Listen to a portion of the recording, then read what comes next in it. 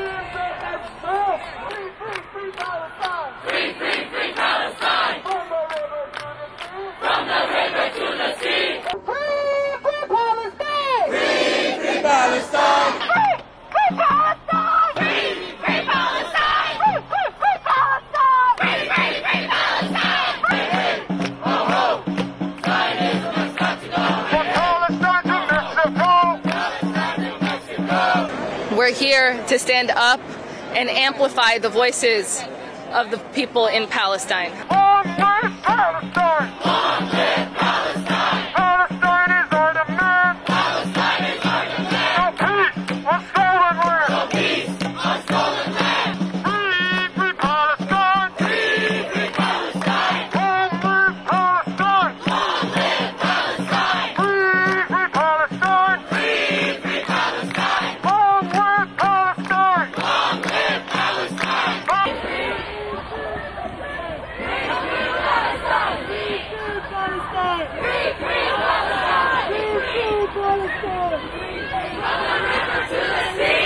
For the last 75 years, we've been ethnically cleansed, we've been living under genocide and apartheid.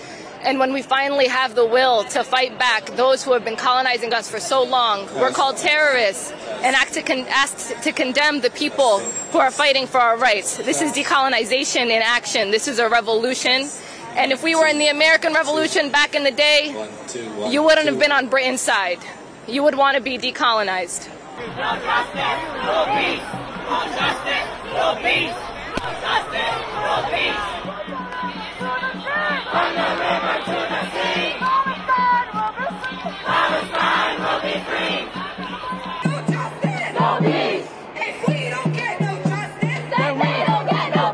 We're here for justice more than anything else. They tell us to be peaceful over and over again. I want people to see that above everything, we need justice before peace can ever be attained. Another dime!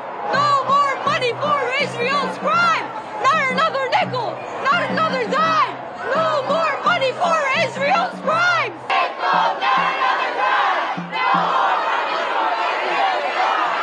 Not another nickel! Not another dime! No more money for Israel's crime! Free, free Palestine! a mass protest in Times Square to make it clear to the world that the people of New York stand with the Palestinian people and the people of Gaza, who are suffering right now under immense genocidal violence by the Israeli state.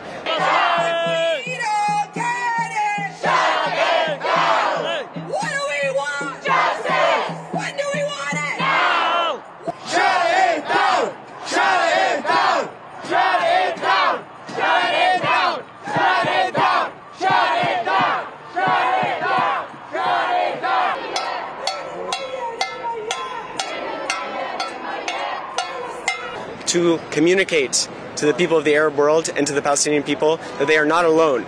Despite the shameful displays of carte blanche endorsement of Israeli genocidal violence by the West, the Western media, and the Western governments of the world, we're here today to make it clear that we stand with them and that they have both a right and, and a justness to the resistance that they have been showing.